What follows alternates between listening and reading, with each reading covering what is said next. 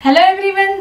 Pooja Kushwaha welcome to my channel morn kitchen monsoon start हो गया है और इस बारिश के सीज़न में गर्मा गर्म समोसे और चटनी मिल जाए तो मज़ा ही आ जाए। तो इसलिए मैं आपके लिए लेकर आई हूँ बहुत ही चटपटा और क्रिस्पी मिनी समोसे की रेसिपी जिसे मैं रेगुलर शेप ना देकर इस तरीके का स्टार शेप दूँगी, ताकि ये खाने के साथ साथ देखने में भी बहुत इंटरेस्टिंग लगे। उम्मीद है की आपको ये रेसिपी बहुत पसंद आएगी। इस मानसून आप ये रेसिपी अपने फैमिली और फ्रेंड्स को ज़रूर शेयर कीजिएगा, ताकि वो भी इस मिनी समोसे की सुपर टेस्टी रेसिपी को बनाकर खा सके। तो चलिए फटाफट शुरू करते हैं इसे बनाना। सबसे पहले मिनी समोसे के लिए हम लोग डो तैयार कर लेते हैं। डो तैयार करने के लिए किसी भी फैले हुए बर्तन में डेढ़ कप मैदा ले लें। इसमें एक चम्मच अजवाइन को इस तरीके से रब कर कर डाल लें। अब इसमें डालें एक चम्मच नमक और चार चम्मच रिफाइन ऑयल डालकर इसका अच्छे से मोयन कर लें। क्रिस्पी और कुरकुरा समोसा बनाने के लिए मोयम करते समय आप तीन से चार चम्मच ही तेल का इस्तेमाल करें। यदि आप ज़्यादा तेल डालेंगे तो समोसा ऑयली हो जाएगा और ऑयली समोसा खाने में किसी को बिल्कुल भी अच्छा नहीं लगता। जब मैदे में इस तरीके से बाइंडिंग आने लगे तो मोयन हो गया है।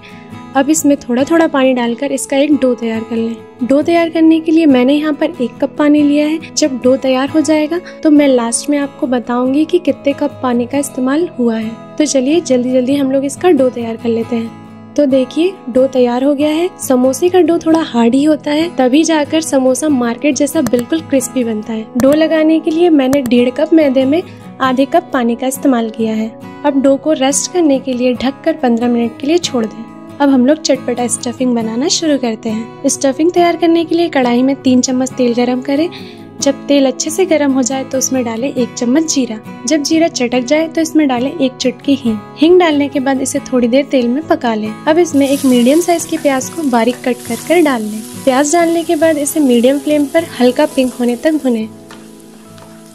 जब प्याज में हल्का पिंक कलर आ जाए तो इसमें डालें आधी छोटी चम्मच हल्दी पाउडर, आधी छोटी चम्मच लाल मिर्च पाउडर, आधी छोटी चम्मच जीरा पाउडर, आधी छोटी चम्मच धनिया पाउडर और एक चौथाई चम्मच काली मिर्च पाउडर डालकर थोड़ी देर पकाएँ।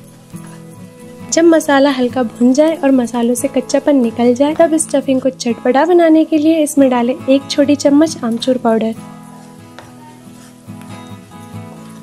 अब इसमें बॉईल किए हुए चार मीडियम साइज़ के आलुओं को इस तरीके से फोड़कर डाल लें।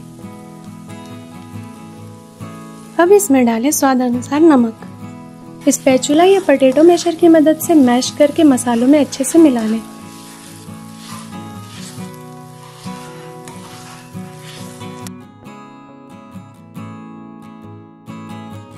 स्टफिंग तैयार है। अब इसमें फ्रेश कटा हुआ धनिया पत्ता डालकर इसे भी अच्छे से मिला लें।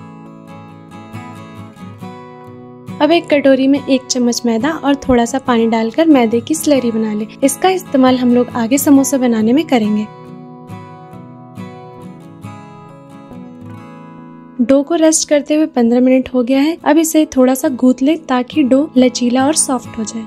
अब इसका दो टुकड़ा करके इस तरीके से पेड़ा तैयार कर लें।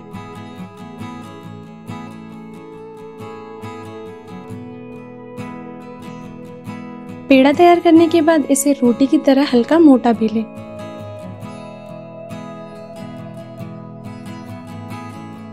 अब चाकू की मदद से इसे इस तरीके से कट लगाकर स्क्वायर शेप दे लें। कट करने के बाद इसके एक्स्ट्रा पार्ट को हटा लें। अब इस तरीके से कट कर कर इक्वल स्क्वायर शेप दे लें। अब कट किए हुए सभी लाइंस पे इस तरीके से मैदे की स्लरी लगा लें। स्लरी लगाने से तलते टाइम समोसे खुलते नहीं हैं और स्टफिंग बाहर नहीं आती है। स्लरी अच्छे से लग गई है, अब एक एक बॉक्स पर स्टफिंग का पेड़ा बनाकर रख लें।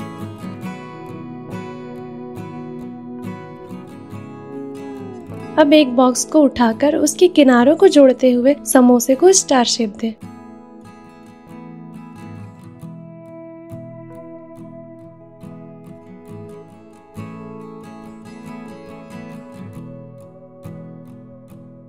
तो देखिए, कितनी आसानी से स्टार शेप वाला मिनी समोसा बनकर रेडी है। तो चलिए, मैं एक और समोसा बनाकर आपको दिखाती हूँ, ताकि आप इसे देखकर बिल्कुल आसानी से बना सकें।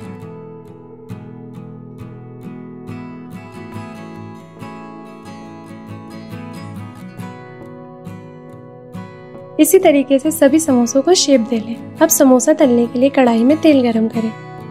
जब तेल हल्का गरम हो जाए तो इसमें एक एक करके डालें समोसे। यदि आप मार्केट जैसा क्रिस्पी समोसा बनाना चाहते हैं तो इस बात का ध्यान रखें कि जब समोसा तेल में डालें तो तेल हल्का गर्म हो। यदि आप इसे ज़्यादा गर्म तेल में डाल देंगे तो समोसा ऊपर से लाल हो जाएगा और अंदर से कच्चा रह जाएगा और ये बिल्कुल भी क्रिस्पी नहीं बनेगा। समोसा डालने के बाद इसे बिना हिलाए डुलाए मीडियम फ्लेम पर थोड़ी देर पकने के लिए छोड़ दें। जब समोसे में हल्का कलर आने लगे तो इसे थोड़ी थोड़ी देर पर चलाते रहे, ताकि सभी समोसे के ऊपर एक बराबर कलर आ जाए।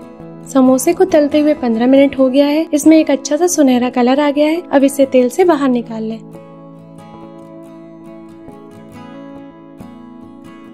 तो देखिए, हमारा क्रिस्पी और चटपटा समोसा बनकर रेडी है। इस मानसून आप मिनी समोसे की इस रेसिपी को ज़रूर ट्राई कीजिएगा और समोसा कैसा बना हमें कमेंट सेक्शन में बताइएगा। वीडियो पसंद आया तो लाइक करें और तो चलिए मिलते हैं नेक्स्ट वीडियो में एक नई रेसिपी के साथ। तब तक के लिए बाय